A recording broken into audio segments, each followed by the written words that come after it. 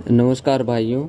अभी जो वीडियो बना रहे हैं, ये है जियो केबल का और डेन केबल का जो अपना सेटअप बॉक्स है, उसके लिए कभी कभी क्या होता है कि बॉक्स रिचार्ज होने के बाद भी इस तरह से your subscription package has expired, इस तरह से लिखा हुआ आ जाता है स्क्रीन पे और ये जब तक बॉक्स रिट्रैक नहीं होते, तब तक ऐसे लिखा हुआ आता है। तो आप क्या करें, सबसे पहले अपना टीवी ऑन कर लें और इसमें देखें, ये जो नंबर लिखा आ रहा है, एन सेवन ज़ीरो, ये ग्यारह डिजिट और एन को मिला के बारह बारह अक्षर होते हैं।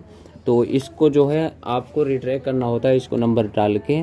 तो ये आप सबसे पहले स्क्रीन आप टीवी मतलब टीवी ऑन कर लें, उसके बाद आप देखेंगे तो ये नंबर शो कर रहा होगा एन से स्टार्ट होगा।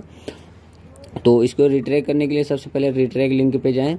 ये जो हम लिंक है डिस्क्रिप्शन में दे दे रहे हैं, वहाँ से आप आसानी से रिट्रैक कर लेना। सबसे पहले इसको रिट्रैक के लिए लिंक पे जाएँ और आपके जो टीवी स्क्रीन पे नंबर है, यानी जो नंबर आ रहा है एन से स्टार्ट है तो वो आप यहाँ पे टाइप कर दें।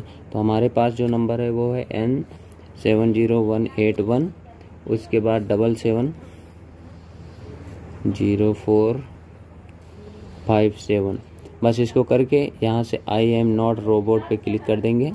बस यहाँ पे रिट्रैक करेंगे।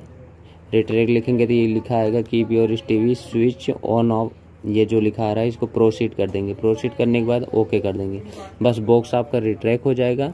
ध्यान ये दें कि जब आपका बॉक्स रिचार्ज होगा, तभी ये टीवी चलेगा तो तीन से दो तीन दो तीन मिनट में चालू हो जाता है। और बाकी कोई दिक्कत नहीं आनी चाहिए।